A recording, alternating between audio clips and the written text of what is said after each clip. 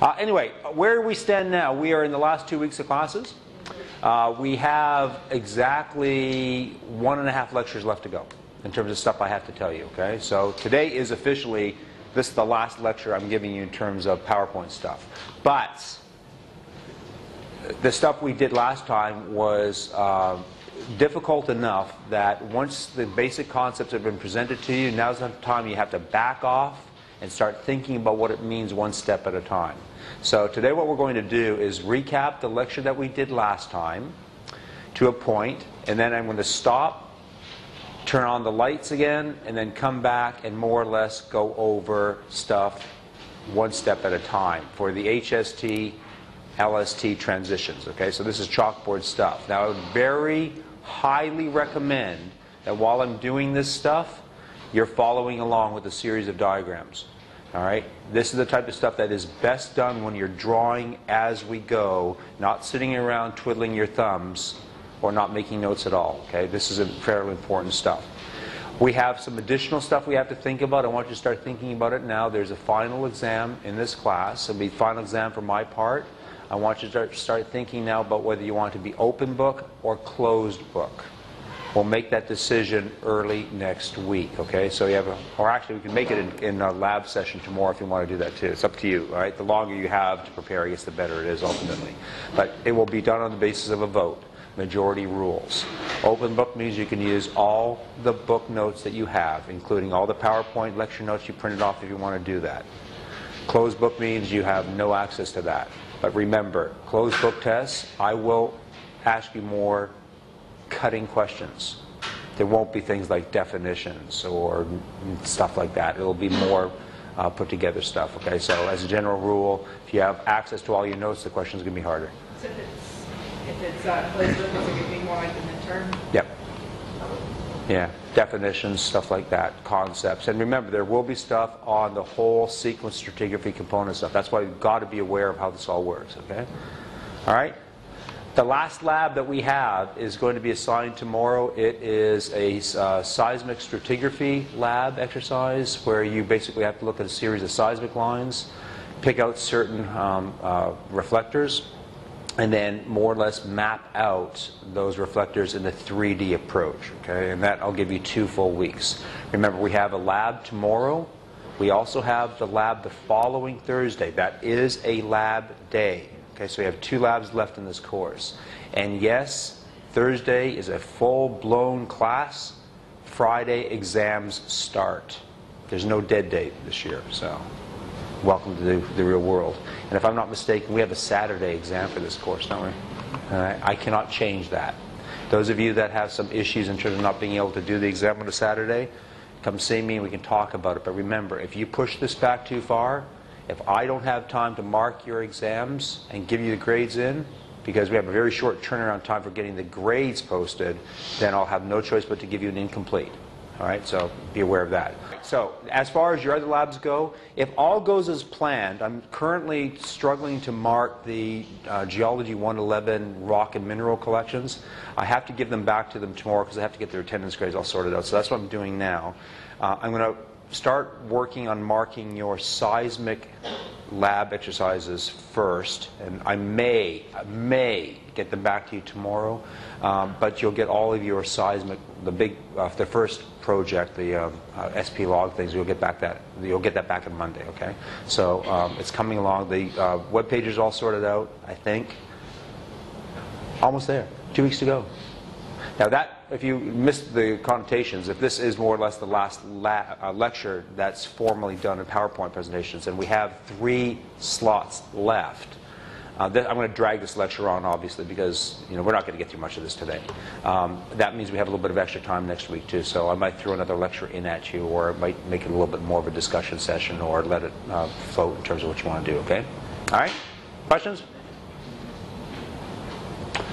Okay, if you could just shut that off for a second. Uh, we're going to turn the lights back on in a second, too. It's on. Um, because I just want to go and give you a bit of recap what we did last time, and then come back and reconsider everything in a slower, more steady fashion. So, uh, this is actually sequence stratigraphy 2 or 3, whichever way you want to look at it. Um, the first lecture we did on seismic stratigraphy wasn't sequence stratigraphy, but it still introduced some of the concepts that we're dealing with today, okay? So last time we dealt with the basic concept of sequence stratigraphy. I introduced the systems tracts to you, and then we started talking about some of the systems tracts. Okay, now here's the pertinent stuff that we dealt with last time. Okay, just as a recap before we start getting into the slower step-by-step stages here. Okay. Number one, we introduced the all-important concept of accommodation space.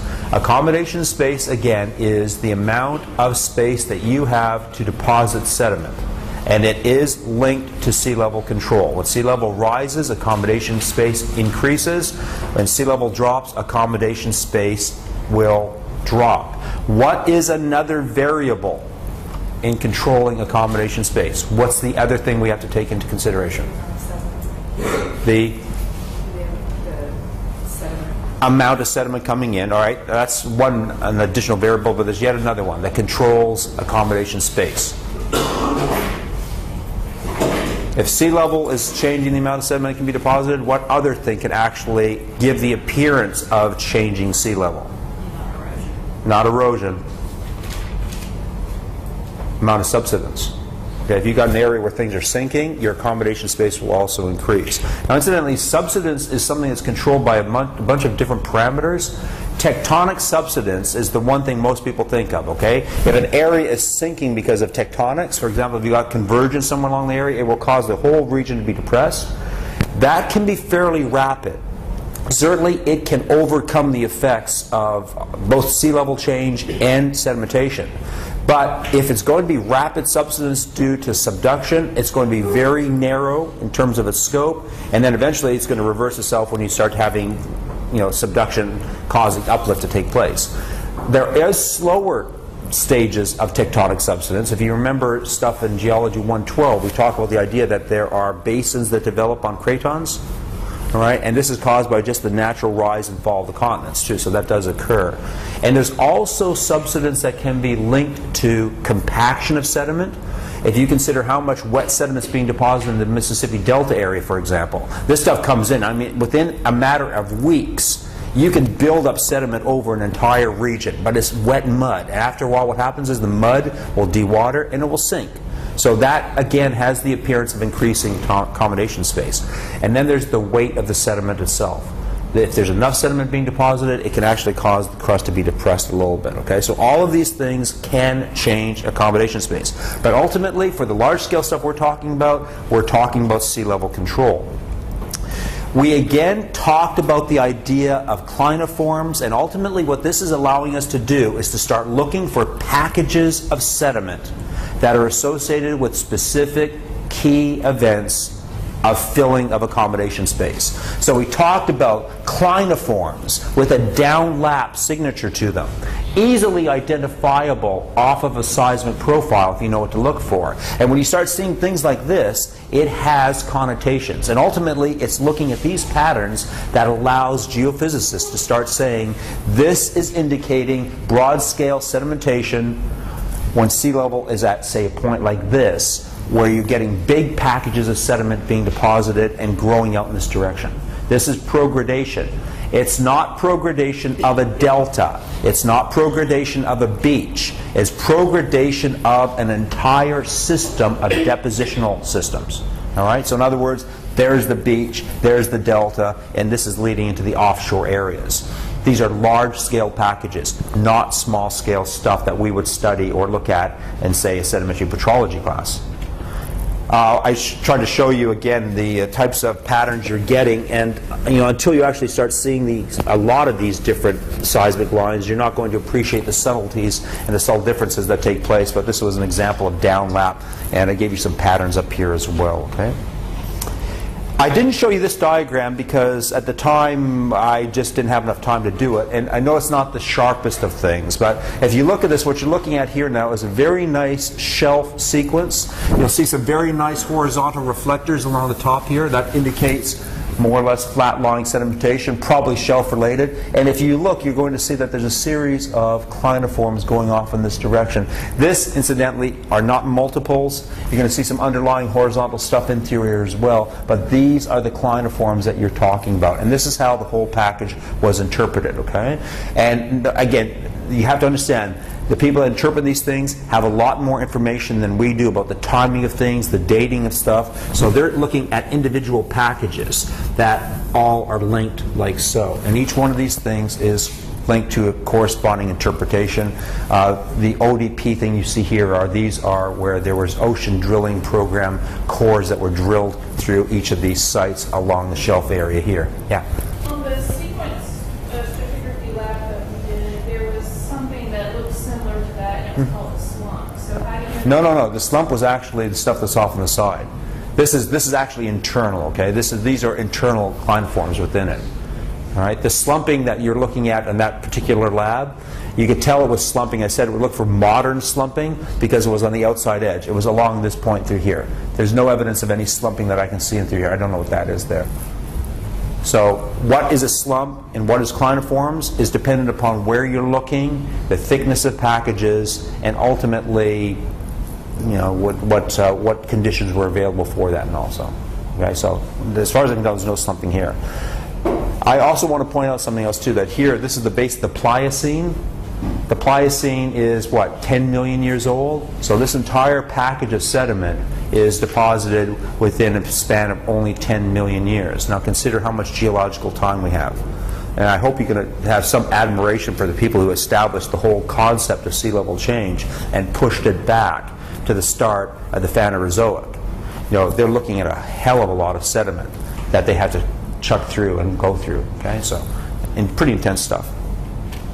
I showed you this diagram here, and this, and this is one of those fundamental diagrams that it takes a while to fully appreciate the beauty of something like this. But what it's showing you now is the way that sediment and sea level are linked. Always remember that it's kind of like a battle, it's a, it's a battle going on. Uh, you can have an equilibrium stage where sea level rise and sediment are consistent, but in most cases, one is always going to be beating out the other, or it will change over time. And what you're going to get is a difference in terms of stacking patterns that will ultimately lead to things that you and I would recognize as transgressions and regressions. And see, that's the other thing here, too. The whole concept of sea level rising and sea level falling, you've been introduced to that several times, but you probably never realized just how much goes on as sea level is changing. It's not a simple matter of beaches being replaced by offshore muds. It's not a simple matter of offshore muds being replaced by oolites and then rivers. Sea level doesn't do this in terms of nice changes that gives you nice lateral changes consistent across the entire planet. What happens is when sea level changes, it causes an effect and a response by the sediments along the coastline. So what will happen is you're going to get some backstepping from forward stepping or a lot of interdigitation where you're going to get this type of complex variation. In fact, in some ways, and this is one of the things that's probably the most tricky to go from the simple concepts of how geology works to the practical world of interpreting rocks in, out in the field, is that you get things that look like this. You never get the layer cake type of things that we see at the Grand Canyon. Well, actually, I guess that's not true. Obviously, you do because you see them at the Grand Canyon in various places. What you have to do is realize that that layer cake stratigraphy that you see is not sediment going like that, back, and forth. What you're looking at are timelines that cut through the horizontal layers.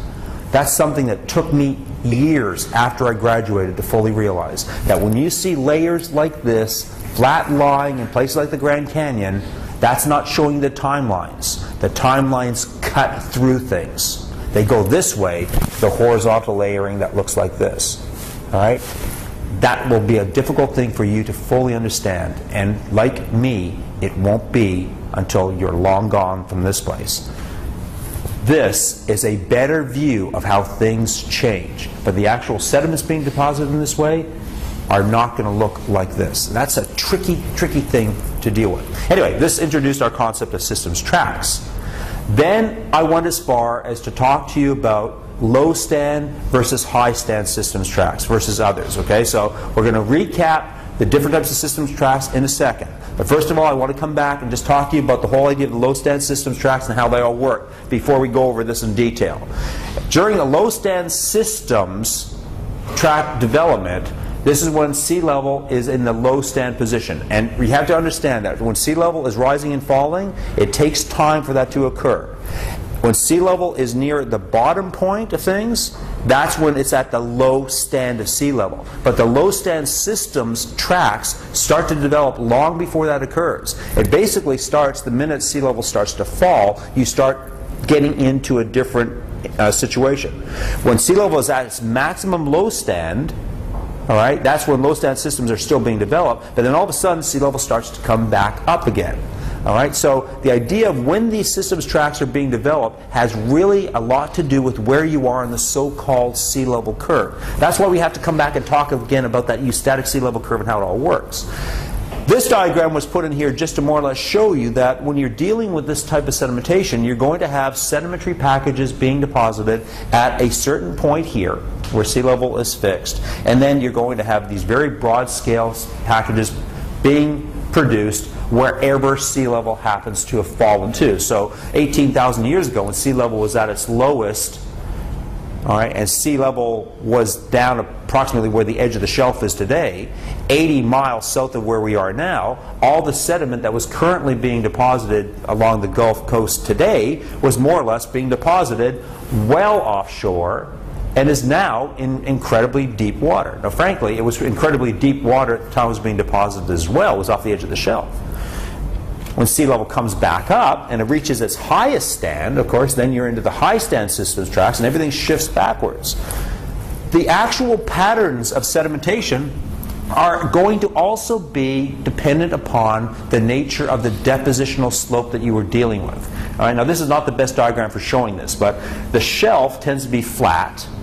When you get to the slope, it tends to drop off fairly significantly, okay? So there's a difference in depositional surface. So it stands to reason that if your depositional surface is flat like this when sea level is high, all of the sediment being produced on a flat surface is going to more or less take into account that it is a flat depositional surface. When you get off to the edge of the slope, and now sea level is at this point, then you're going to find sediment actually taking advantage of that slope and you're going to actually see different packages being deposited. You get a lot of submarine fans being produced, at least initially that way. And the actual clinoforms that develop are not going to be flat. They're going to actually have some pretty good uh, relief to them. That's something you have to remember in context to what that slide was I showed you about the differences in terms of down lap, on lap, and all that. Because again, all of that interpretation is based upon what the seismic lines are showing you. The pattern of the clinoforms allows you to get a handle as to what type of sedimentation was taking place, and from that link it back to determine what kind of depositional surface it was on, and from that to link it back to the type of systems tract that you were in. Okay? And while that may sound annoyingly cyclic or circular in its argument, it really does make sense if you're consistent with what you do. All right, now here's what we're going to be doing, not so much for today, but for the rest of the course, okay? We're going to come back and do this chalkboard version of some of the systems tracts things. And that's why I'm going to ask you to keep up with me on this. But stop me if I'm getting over your head or you don't follow something, okay? Because you have to understand these basic things to more or less understand the significance of sequence stratigraphy. Um, and then later on, and I'm probably going to stop before we get to this, we'll introduce more systems tracts. We have to talk about the transgressive systems tracts, regressive systems tracts, etc., boundaries and surfaces. And then, since this is an academic course rather than a petroleum course, I think it would be a really good idea if you had a chance to see what some of this stuff looks like in the field. So I'm going to show you some of the stuff that I've done in New Zealand and others have done around the world that allows you to actually look at the sequences. If you want to see what a high stand systems tract looks like, the concept is all done on the basis of seismic stuff, but there still has got to be a representative somewhere in the rocks somewhere. So I'll show you some of the outcrops that allow people to say, this is what a high stand systems tract looks like in the field, this is what a low stand systems tract looks like in the field. And if you're thinking that there's going to be major differences, There really isn't. Not in terms of the sediment. The sediment is going to be just more or less deposited in different areas. That's the real trick to applying the concept of sequence stratigraphy to the real world is being able to visualize not only the rocks where you are, but where you are relative to where sea level is at the time.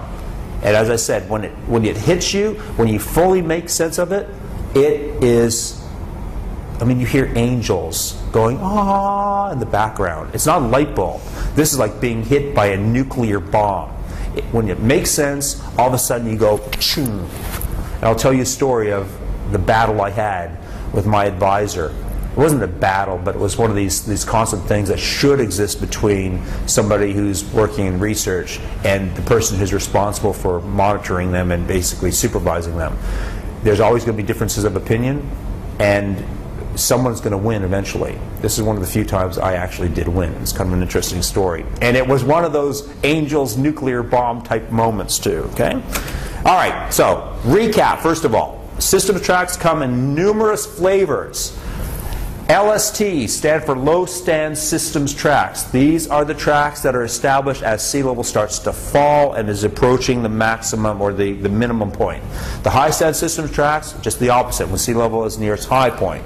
Transgressive systems tracts, these are rather nebulous. They start when sea level, actually the, the definition of these things can be annoying. If I'm not mistaken, the start of a TST is at when sea level is at its maximum depression is when you start getting a transgressive systems tract, when it's just starting to come back up. The falling stage systems tracts, regressive systems tracts, and forced regressive systems tracts, we're not going to spend much time on here because, uh, frankly, they're so similar in, in so many different ways that their subtle differences are things we don't have to worry about at this point, okay? Now, with that, we're going to turn our attention to the chalkboard, okay? And I really don't have any attention to coming back to the projector here. So what I want works using the magic of colored chalk. Starting off with white, okay? Uh, what I want, the whole concept now is that we're going to be dealing with sea level change. And I mentioned to you that there's, that the sea level curve looks something like this, okay? And over time, sea level will rise and fall. There will be a maximum sea level, so that's the highest that you're going to get, and there will be a low sea level. Now, I've drawn this as if it's a regular curve. Be realistic on this, okay? Because sea level doesn't necessarily always follow the same style of things. Sea level can do this, have a shorter period, go up, drag on. You get the idea. Realistically, sea level over time can vary all over the place. That's the actual sea level curve. In terms of the conceptual idea of sequence stratigraphy, however, generally what people do is to evaluate sea level on a nice sine form like so.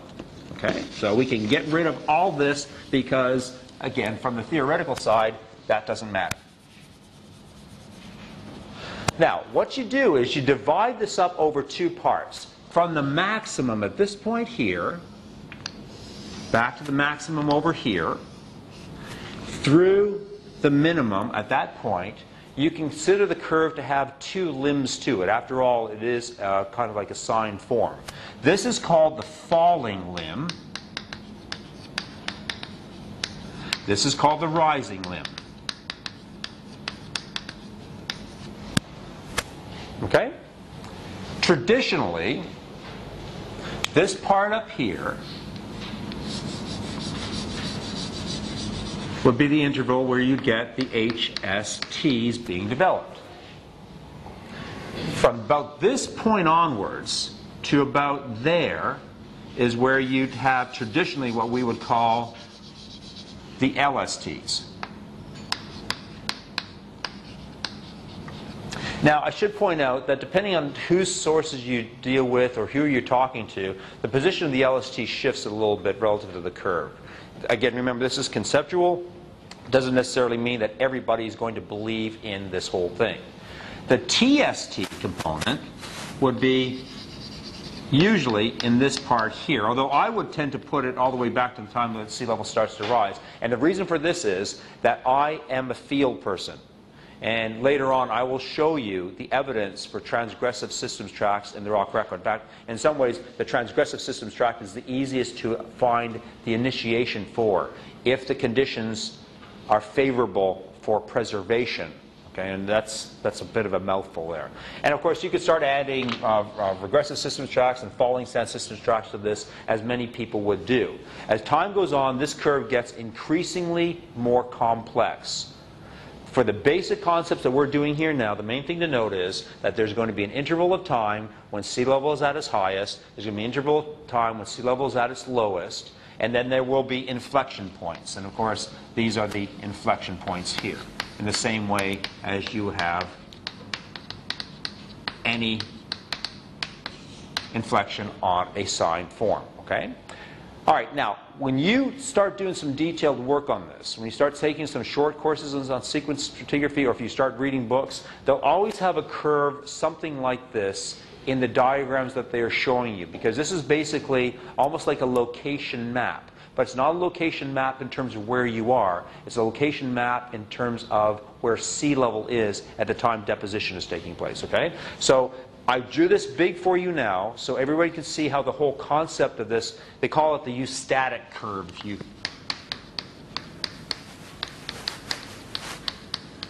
and that's a bad term, frankly, because um, it's, it means eustasy, but eustatic curve to me means the whole sea level curve over geological time. But this is kind of like a flow chart that shows you, again, where you are relative to everything else, okay?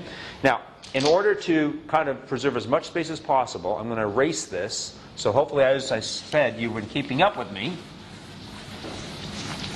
Because I need the whole chalkboard for doing this. And for each of these diagrams, I would strongly recommend you give yourself about half a page, okay, or like a, a or like half, yeah, about half a page for a normal size thing, okay. Starting off now with, we got to start somewhere, right? So we're going to start off now at point number one with high stand.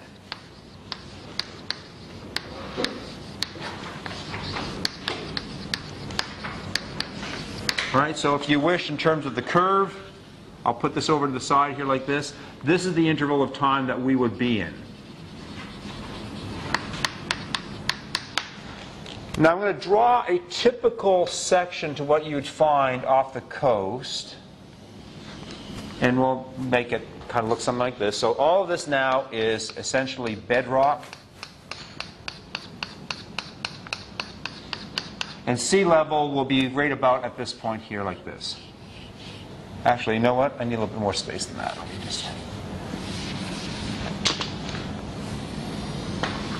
Sea level will be approximately here.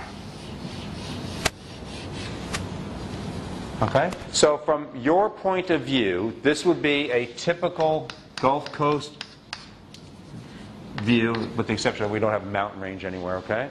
Um, that would be the shoreline right there. So, that's sea level right there. Under these circumstances, I don't have red chalk. How, oh, or it had to be orange, I guess. Under these circumstances, what you'd expect to find here along the alluvial plain would be fluvial systems. I'm going to indicate this by the ever popular conglomerate pattern. Now, of course, we don't have conglomerates down here because our coastal plain is so flat that we don't have big pebbly things that's irrelevant. The idea now is that that indicates where the fluvial deposits are going to be deposited. Everyone got that? And of course, you know at the base of this is going to be essentially an unconformity, a disconformity, because fluvial sediments tend to erode downwards into the subsurface. The actual shelf and shore face components will be in the areas that are shallowest. So this would be an area where you're going to start seeing things like beaches, and sands. Call these shelf sands. The shallow stuff that surrounds all continents. Then what happens is when you get to the edge, here's where you're going to start having this kind of grading out laterally into finer and finer components. So this is the area where you're going to start having mud being deposited. If you're off the edge of the Mississippi Delta, for example, this is where you're going to find a tremendous amount of sediment being produced. And again, one thing you should realize is that even though we may not have a huge delta off the, our coastline right now, there's certainly enough sediment coming in from the Mississippi that it influences this whole area. So there's a lot of sediment being produced. Net result is, over time, what's going to happen is you're going to start having this type of progradation taking place. So this would be, call it offshore. This is your typical type of sedimentary relationships that you have when sea level is at a specific point in time that is high. This represents, the whole thing represents, a high stands systems tract. Not any one component of it, but the whole component itself, okay? Everyone okay on this so far? Clearly by now you should start to be able to recognize some things. Notice these are inclined clinoforms. Inclined clinoforms. Is that an oxymoron? I don't know. If there were any up in through here, these would be more or less flat line. But remember, you have to have enough sediment being produced in order to get the resolution that you're going to need for the seismic lines. Everyone got that? Notice at the end through here, this is the downlapping that we talked about before. And this will continue to go on as sea level stays more or less at this position. Now note that even though sea level is at this point is static, as you go off in this direction, the net result is that you're driving what appears to be a, um, uh, a regression at this point because more sediment is being added. This is what happens. If sediment is allowed to start filling in the Gulf of Mexico, it will. And even though sea level is staying fixed, it still has the effects of making it appear as if there's a regression here locally because of the influence of sediment overall in this. All right, so far? All right, now, at this point, we're going to start changing things. What we're going to do is we're going to start shifting sea level time-wise now in this direction. Now we're going to go from this point here into this point there. What represents the LST components of the curve. What I'm going to do, and you have two choices here now in terms of how you do this. If you want to make this make as much sense as possible to you for later on, what I would recommend that you do is start another diagram.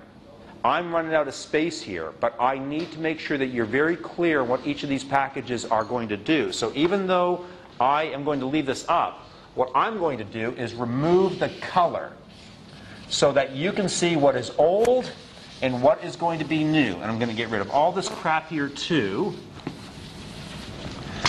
All right, so everything that we had before is now going to be redone in white. And the only reason I said that I'm doing this now is to more or less take the color out of it so that we can now go into phase number two low stand.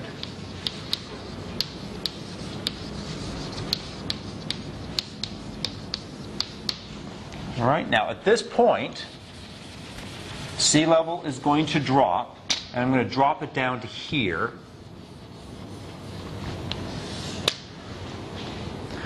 Notice that what had been previously being deposited is going to now be exposed.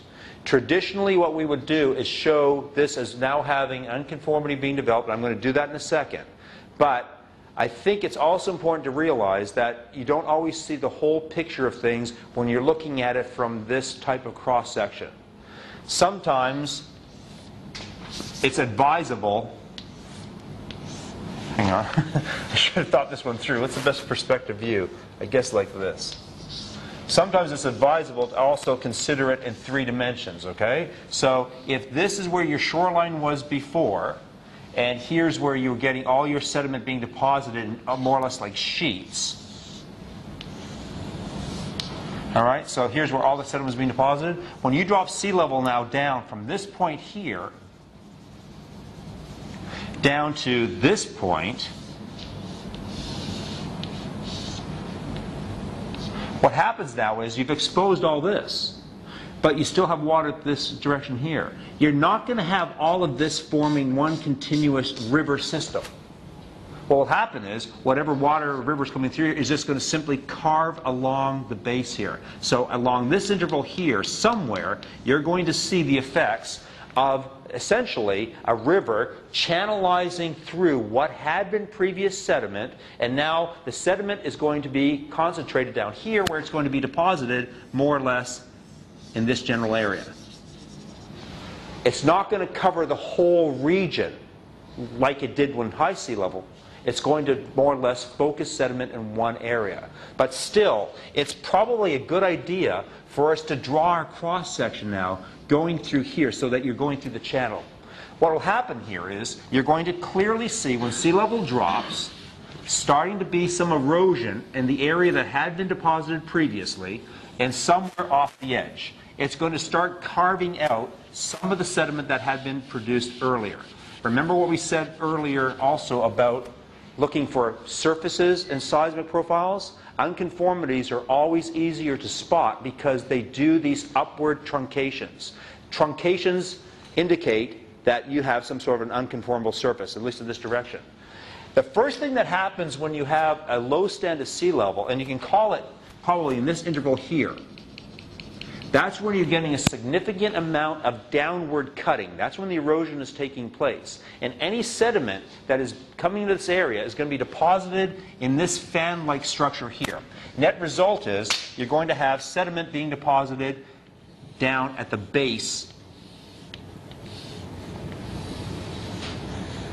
of what the clinoforms were before. Now notice the orientation of the clinoforms, about the same angle you had earlier, okay? So you can consider this to be the low stand systems tract, and to lack of another term, we can call it fan. If you want to put submarine in there, you can, okay?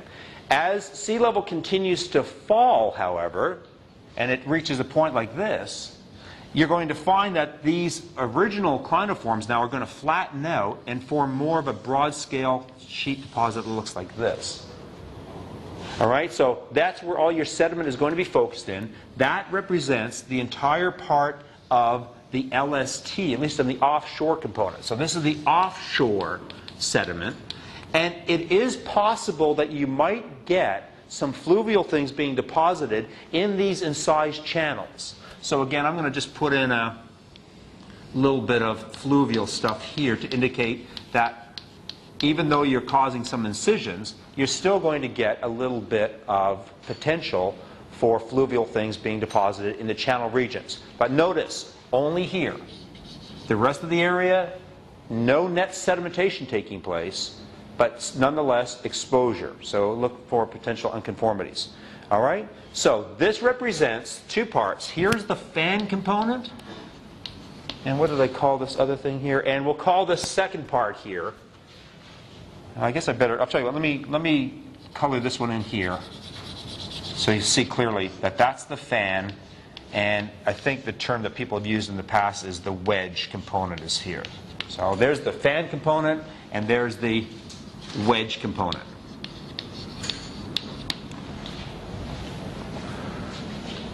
Still with me?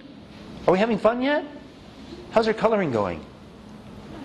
Actually, Kelly Jones emailed me the other day and she said, Have they started complaining about coloring yet? And I said, I don't think so. I haven't had anybody send me bomb threats or anything like that yet. No one's asked me to borrow pencil crayons or anything. Yeah. No.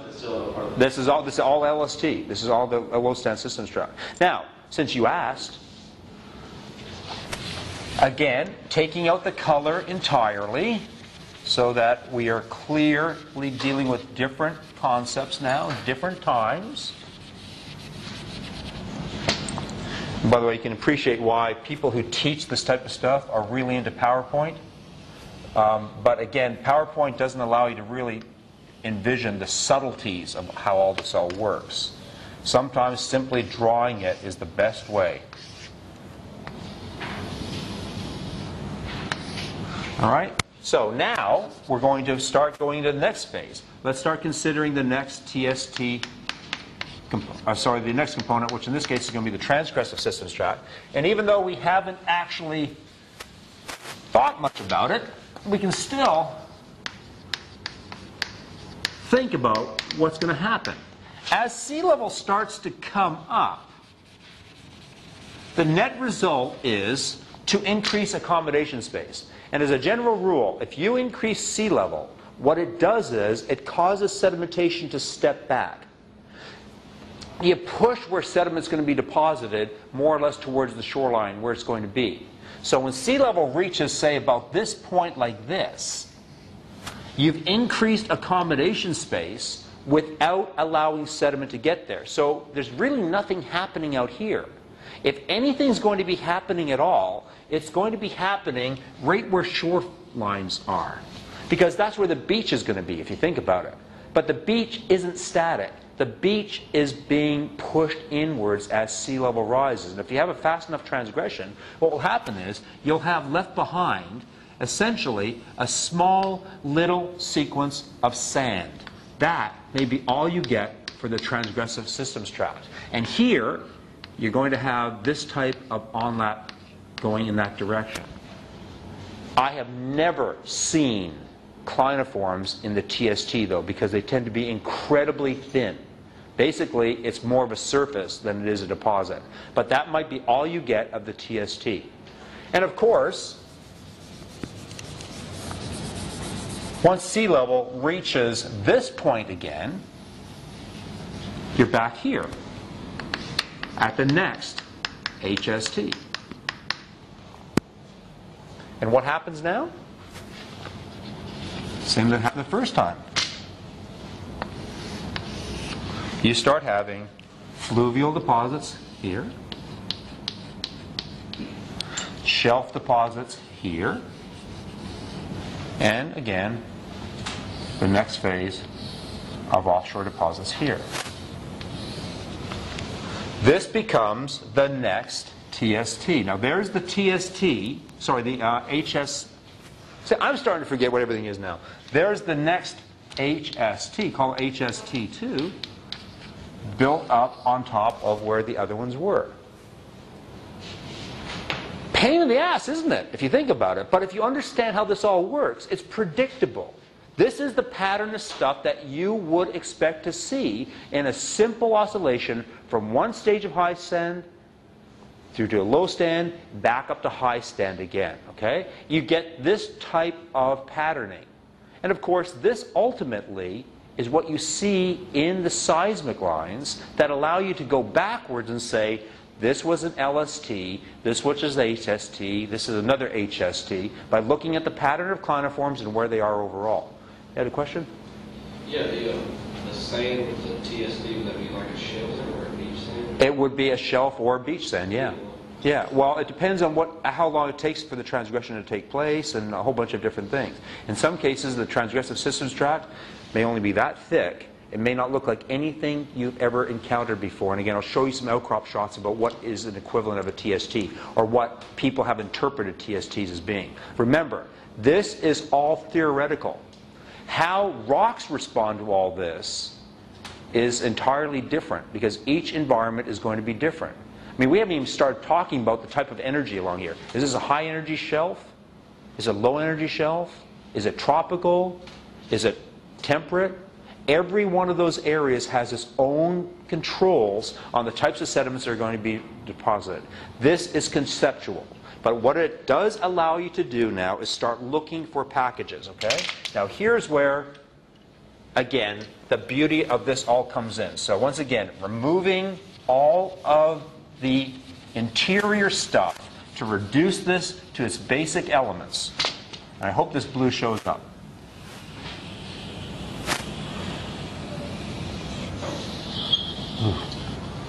This becomes part of one sea level change. There is HST1, there is LST1. Got it? This becomes part of another one, which I'll color in yellow. In fact, I never got as far to. All right, so this becomes now HST2. And of course, the next phase of sea level sand will give you an LST off to the side here. That would become LST2, etc. I'm ignoring the transgressive systems tract because I'm not sure if that's the TST for this one or the or you get the idea, right? It's just one of these annoying little variables as to where you stick it. The point is, after a while, what's going to happen is you're going to get a stacking pattern that will allow you to start thinking about what this means overall to see. So, consider now a package that looks like this. And I know I'm out of time. Give me one second to finish this off. All right? There is HST1, LST1. HST2, LST2, HST3, LST3, HST4, LST4. If you can link each of these packages to one another, it starts giving you an idea of not only how sea level has changed over time, but the magnitude of sea level change over time. See the differences between the way I've drawn these? What's the differences? Where the HSTs end up. All right? If the HSTs go out to here, LSTs are there. See how they're kind of positioned relative to one another? This gives you an idea of overall magnitude changes as well. That's what allows people actually, when you start looking at the sea level curve, to have it coming way out here, way back there, or just more subtle variations. As I said, an incredibly powerful technique if you have enough data from around the world to allow you to come up with something that looks like this. All right, now with that, I will leave it there, except to remind you again, we're not done. Tomorrow we have our lab. That will be an opportunity to do, uh, not sequence stratigraphy, but seismic stratigraphy interpretations. Uh, we're going to need as much room as possible for tomorrow. And before, for those of you that are already planning on getting this stuff and taking off again, you're going to need to know how to do this. So make sure you are in the lab and are paying attention. All right? Otherwise, you're going to walk away with this and not know how to conclude. And you're going to need both lab periods to finish this off. All right? Thank you.